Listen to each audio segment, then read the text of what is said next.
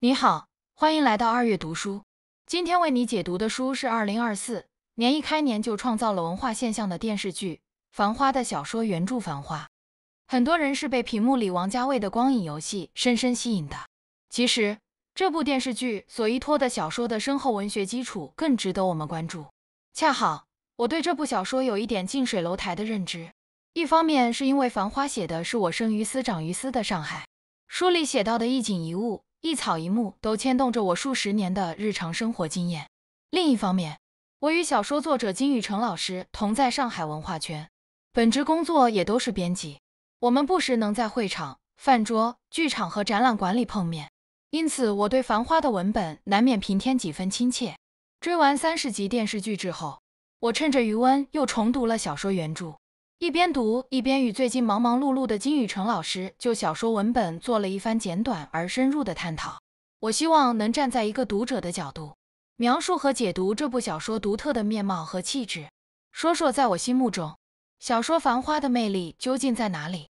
追溯《繁花》这部小说的创作背景，要从十几年前讲起。在二零一二年之前，上海作家金宇澄的履历表上，主要的轨迹是这样的：上海人。五零后，青春时代被上山下乡的时代洪流带到黑龙江农场，一待就是七年。上世纪七十年代回到上海以后，金老师用十来年的时间走上文学道路，发表多篇小说。一九八八年正式调入上海文学编辑部，至今都是这本老牌期刊的主编。在金老师的多次讲述中，命运的齿轮是在二零一一年的上海街头开始转动的。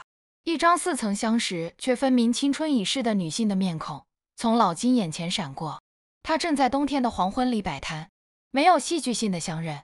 老金在沉默中与她擦肩而过，但是那些与这张脸相关的旧时光，触发了他身上的某个开关。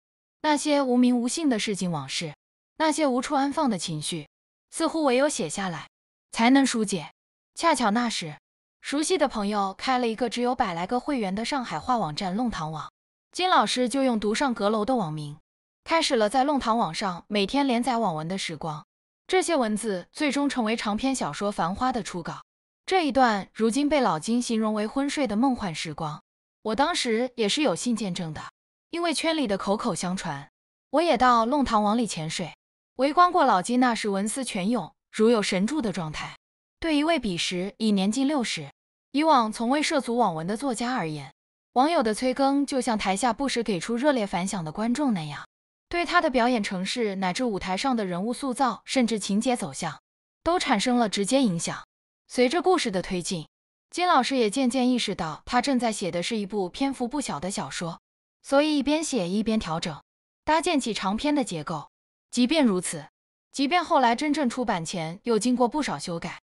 但最终呈现在我们面前的繁花，仍然能在很多细节里读出某些专属于网络的特点，那些直击人心的笔触，鲜明而珍贵的表达欲望，以及能让观众产生强烈代入感的氛围。弄堂网的独特属性，也给繁花具有浓厚方言特色的表达提供了合适的平台。二零一三年，三十五万字的长篇小说《繁花》正式出版，反响远远超过作者的预期。口碑、销量与奖项同时怒放，厚积薄发的老金收获了一路繁花。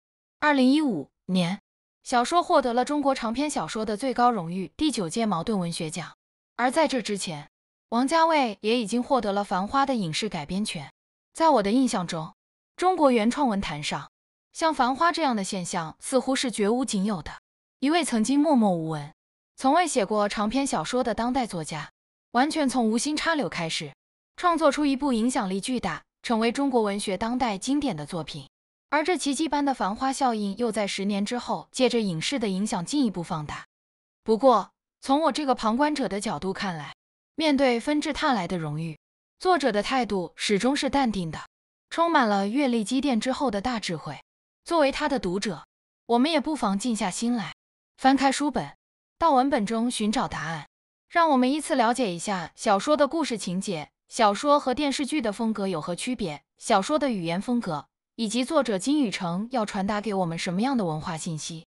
我们先来捋一捋结构，建立一下故事的时空坐标。小说《繁花》的故事空间大部分在上海，书中刻画的场景只有一两次在上海之外，比如几位重要人物曾到江苏常熟旅行，并且发生了影响情节走向的事件。《繁花》的时间要比空间复杂的多，由始至终都采用双线并行的叙事方式，通过时间顺序把整个文本结构搭建得格外工整。具体的说，正文部分一共三十一章，每章分成几个小段落。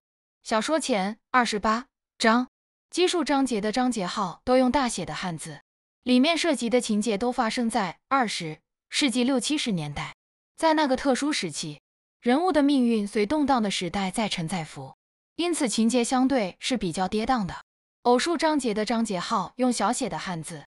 故事基本发生在九十年代。从政治经济的角度定义，这段时间正处在中国，尤其是上海的改革开放进入高速发展的时期。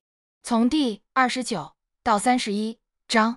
过去与现在渐渐交叠在一起，这末尾三章连同本书的引子和结尾，都在九十年代的语境中展开，最终把这个故事构建完整。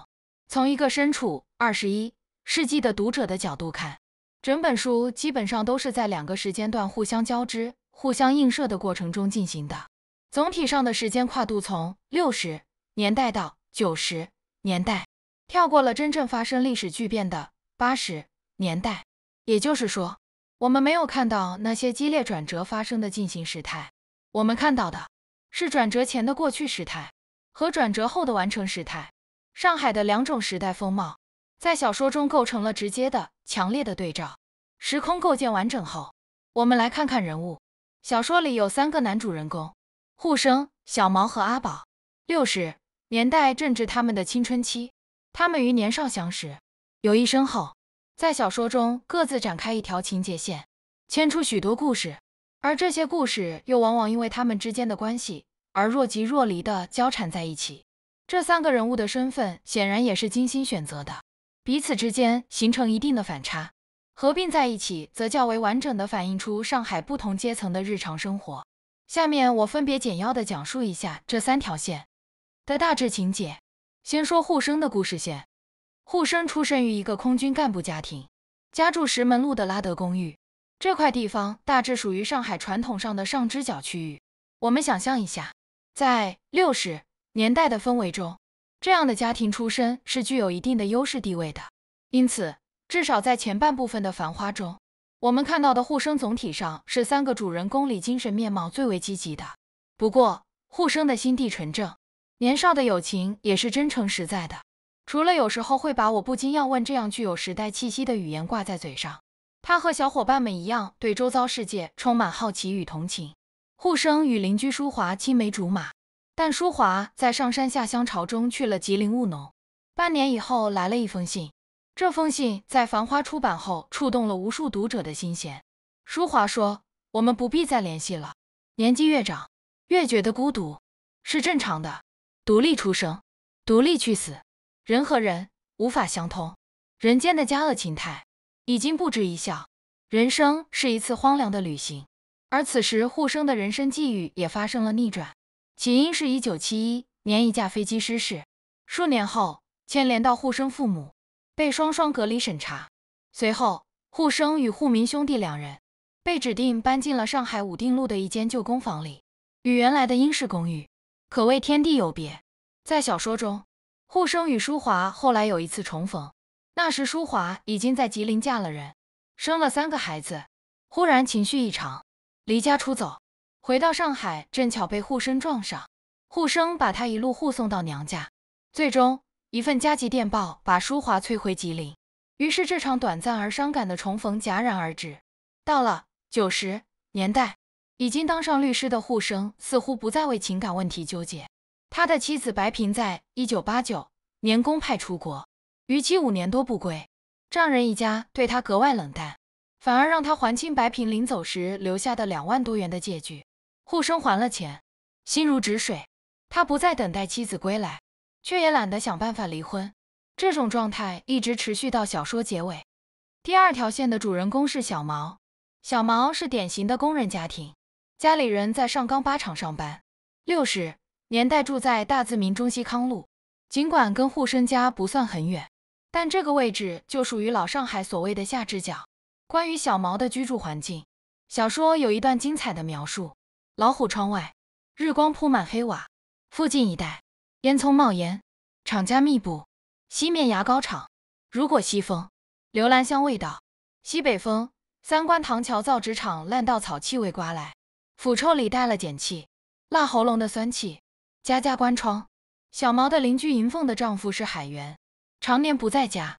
银凤既深陷孤独，又受到流氓的纠缠，他与小毛渐渐发展出逾越世俗界限的情感，轰轰烈烈一时，却注定惨淡收场。这件事也成为小毛一生的阴影。甚至因为一场与银凤有关的误会，与好朋友护生和阿宝都断了联络。到了九十年代，小毛本来工作的钟表厂不景气，他只能黯然下岗。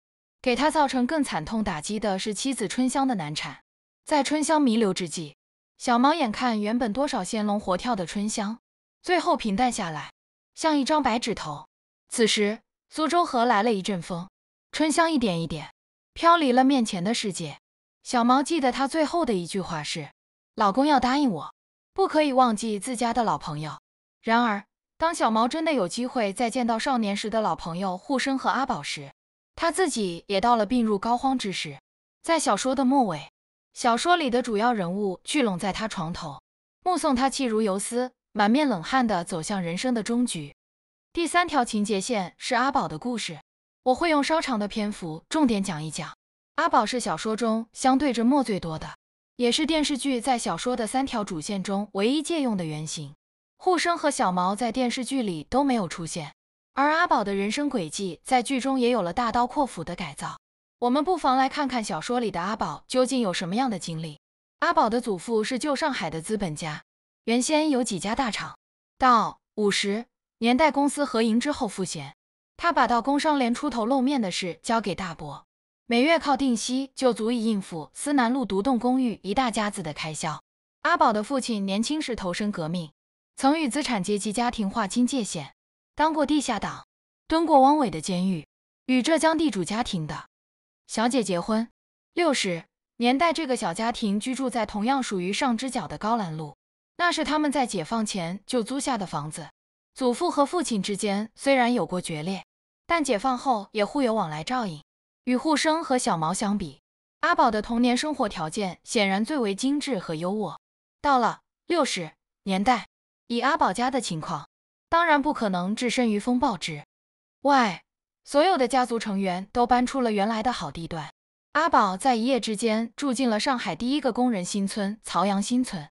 在那里，室外野草漫生，室内灰尘蜘蛛网。过惯养尊处优生活的大伯跑来诉苦。落魄颓丧的样子让阿宝一家无言以对。然而后来落实政策，实施赔偿方案，大伯又第一个跳出来想独揽家产，宣称房契、产证名字只许写我一个人。一时间家族里鸡飞狗跳，叔伯姑妈都嚷着要打官司。繁花落尽之后，阿宝看到了一地鸡毛。九十年代的阿宝成了宝总，当上了一名看起来颇为成功的商人。不过。小说不像电视剧那样在商战情节上浓墨重彩，书中只是简略提到宝总与外贸公司的汪小姐做过业务。按照护生的讲法，阿宝只做正经生意，不考虑越轨投资，因此小说里的宝总似乎并未介入资本市场，更没有在股市上与深圳帮展开惊心动魄的大战。与之形成对照的是，小说中阿宝的情感经历占据了不少篇幅，也叙述的相当动人。而这些故事主要发生在六十年代。阿宝童年的玩伴是邻居贝蒂。小说第一章的第一句就是写十岁的阿宝和六岁的贝蒂从上海老房子的假三层爬上屋顶，眼里是半个卢湾区。贝蒂的每次出场，或是在和阿宝爬屋顶看电影，或是听他的保姆绍兴阿婆讲过去的故事，或是与他心爱的钢琴在一起。在小说中，钢琴显然是一个意味深长的隐喻。它既是动乱年代稀缺奢侈的艺术品，又与贝蒂的成长以及贝蒂阿宝之间朦胧的情感发展紧密联系在一起。小说中有一段神来之笔，写贝蒂的钢琴像一匹懂事的高头黑马，稳重沧桑，就段子一样的暗光。贝蒂小时，马身特别高，发出陌生的气味。大几岁，马就矮一点，待到难得的少女时代，黑马背脊，适合背地骑乘，也就一两年的状态。刚柔并济，黑裙白裙。然后作者笔锋一转，说这只是想象，因为现在钢琴的位置上只剩一块空白墙壁，地板留下四条拖痕。阿婆与贝蒂离开的一刻，钢琴移动僵硬的马蹄，像一匹马一样消失了。地板上四条伤口，深深蹄印，已无法愈合。这里说到的贝蒂和阿婆离开，是突然发生的，原因当然与当时已经混乱不堪的局面有关。有人打着抄家的名义来把琴拖走，可能是拿去卖了。作者在此前的描述中已经暗示了人情合一的意象，琴在，人才在，因此接踵而至的情节便是人与人的离别。在这里，作者故意偏离写实的轨道。将这一段处理的颇有魔幻色彩。阿宝先是回头，见阿婆为贝蒂梳头，嘴里念念有词。等阿宝再回头，两道光掠过，闪进水池里。阿宝一开眼睛，视觉模糊，眼前只是昏暗房子、树、一辆脚踏车经过，一切如常。几天以后，阿宝收到了舒华的信，告诉他，就是这夜之后，阿婆和贝蒂失踪。小说没有再交代他们的下落。日后，贝蒂在阿宝的想象中就成了一条引入池水中的金鱼。你可以把这看成是一场悲剧，也可以从里面读出任何艰难的岁月里都难以泯灭的对自由与美的向往。而无论是阿宝也好，还是作者也好，对此都不加判断，给予读者广阔的留白。出现在阿宝生命中的第二段感情是雪芝带来的。书中的雪芝，苗条身材，梳两根辫子，朝阳格衬衫。文雅曼妙，她是一个小资本家的女儿，五个哥哥姐姐全部下乡，留她一人在上海过着一体两面的生活。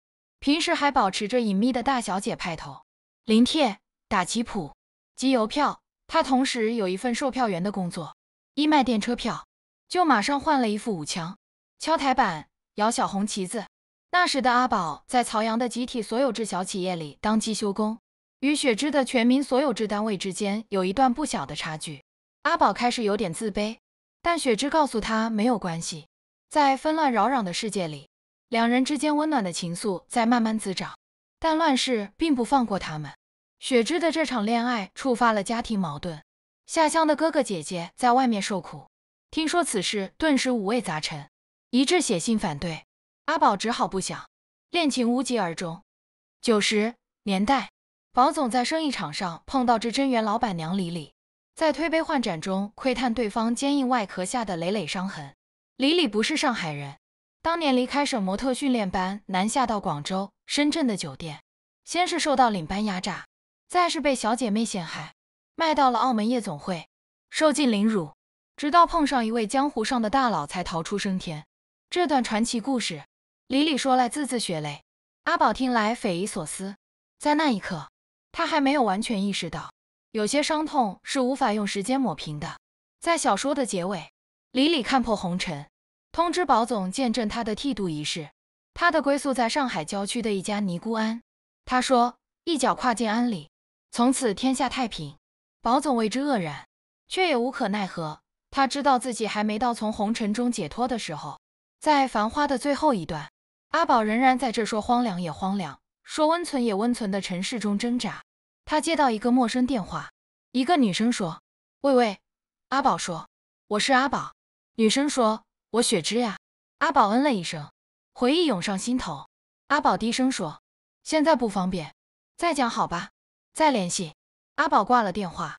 夜风凉爽，他闷头走路，听见一家超市里传来黄安《新鸳鸯蝴蝶梦》的悠扬歌声。刚才。我们已经把小说《繁花》的情节大致顺了一遍。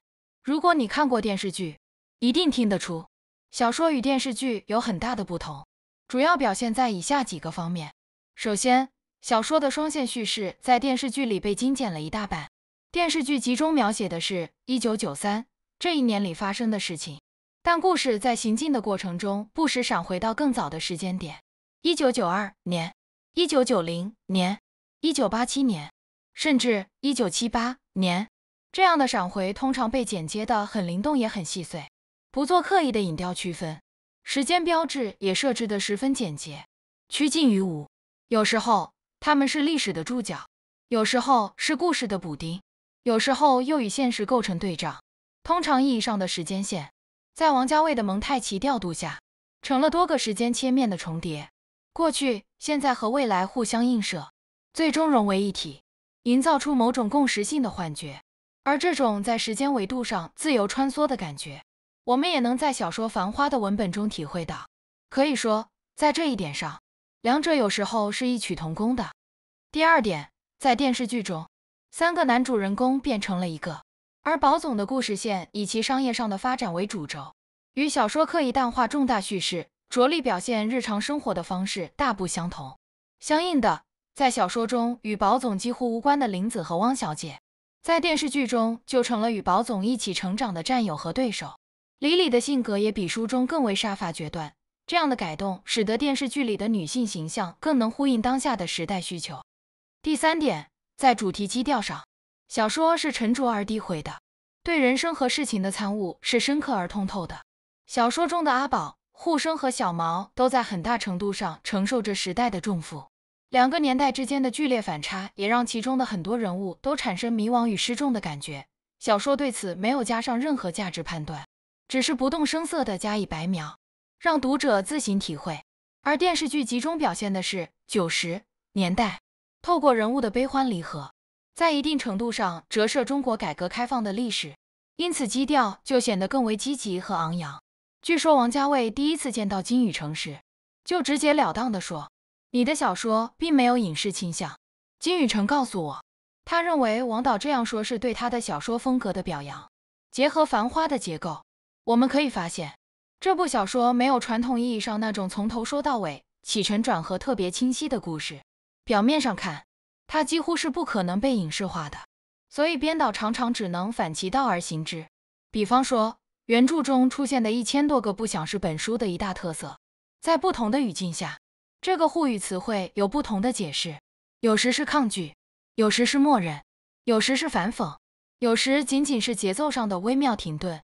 对于文字的这种简洁而多变的表现力，电视剧很难用镜头再现。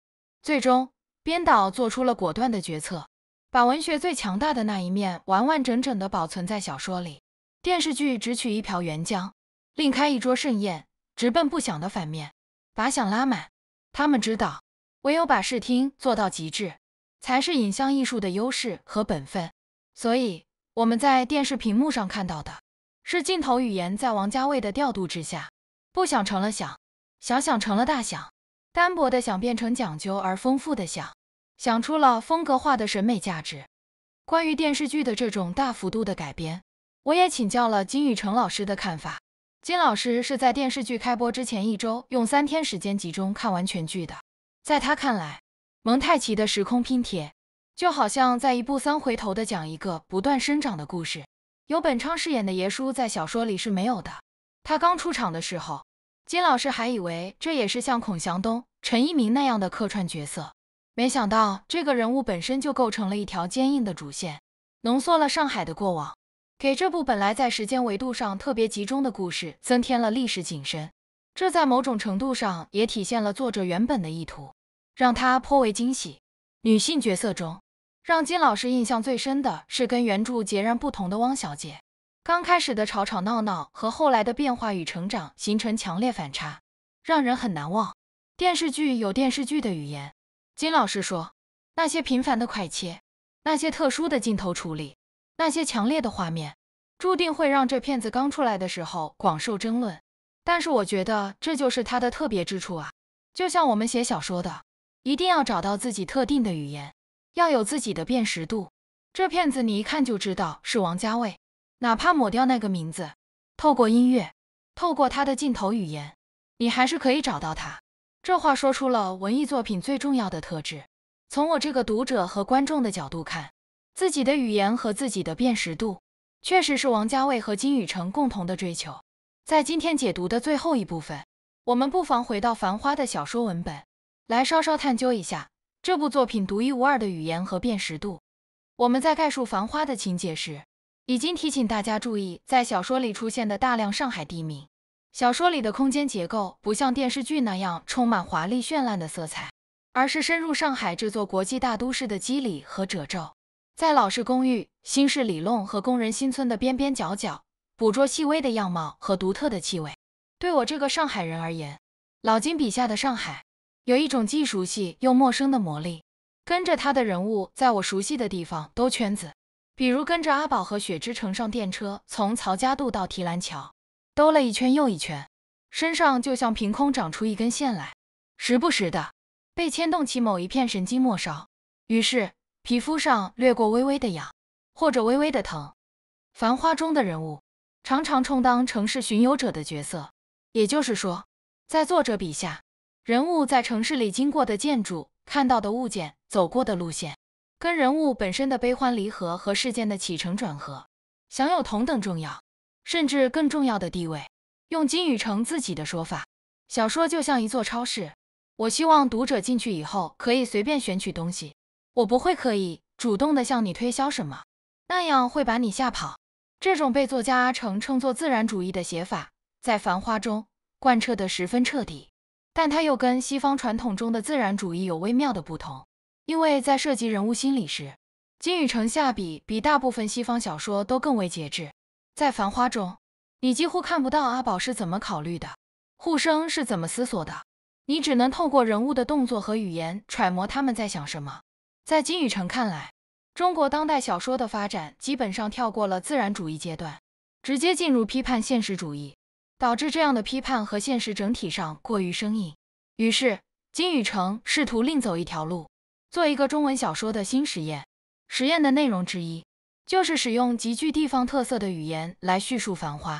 这种语言以上海话的词汇和句式为基础。同时又要保证将许多上海人只能说不会写的字翻译成其他地方的人都能看懂的文字。这样一来，你可以用眼睛看懂《繁花》，但如果想把它朗读出来，就只能用上海方言。在读这样一部小说时，我很庆幸自己是上海人。当我把作者精心挑选的汉字一一还原成沪语的音调时，上海市井的强韧活力，那些不会被时代变迁摧毁的声音，就活灵活现地浮现在我的耳边。就像金宇澄说的那样，我写的是上海的市民阶层，那些被人忽视的上海的声音，最终组成了这样一部小说。在今天解读的最后，我想特别说明一点：这一次重读《繁花》，最让我着迷的是这部小说特殊的节奏、语调和结构方式。《繁花》里充满各色人物的对话，但是，一般小说和戏剧里的对话功能不外乎塑造人物，推动情节发展。常常通过对话刻意凸显人物不同的性格和背景，但《繁花》的人物大部分是淡化这种区别的，所有对话都如流水般融为一体，分不大清是你说的还是我说的。而且大部分对话其实都是在讲故事，人物讲自己的故事、别人的故事、听来的故事，两个以上的讲述者你一言我一语的互相补充，共同把故事构建完整。所以有人说看《繁花》。就好像看一万个故事同时进行，这话不算太夸张。多少人的生死，多少惊心动魄的瞬间，就潜入这些故事深处，一不小心就会划过去。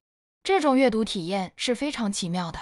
别的小说有一个或者几个叙述视角，《繁花》凭借这种方式获得了几十个、上百个叙述视角，人人都是叙述者，同时人人都活在别人讲述的故事中。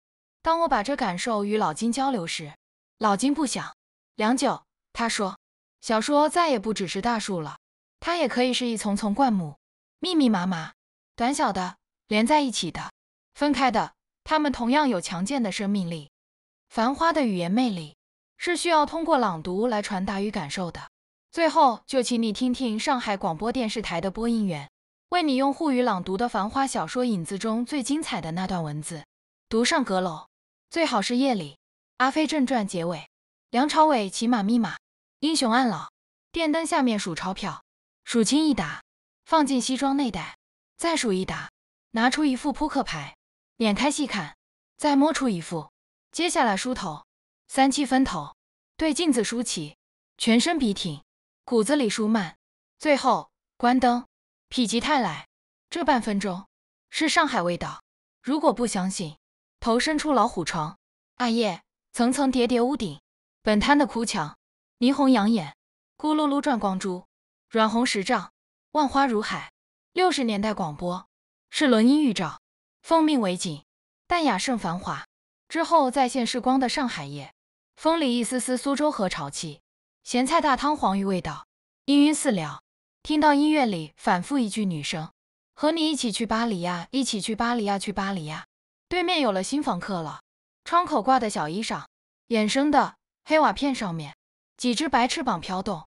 八十年代，上海人聪明，新开小饭店，挖地三尺，店面多一层，阁楼延伸。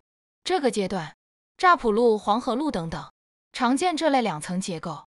进贤路也是一样，进店不便抬头。栏杆里几条玉腿，或丰子恺所谓肉腿高悬，听得见楼上讲章，加上通风不良的油惑气，男人觉得莺声燕语，吃酒就无心思。古罗马诗人有言：不屑则不能使人欢笑。好，以上就是为你介绍的全部内容，请给我们点赞、收藏，鼓励我们。你也可以把这本书免费分享给你的朋友。恭喜你又了解了一本书。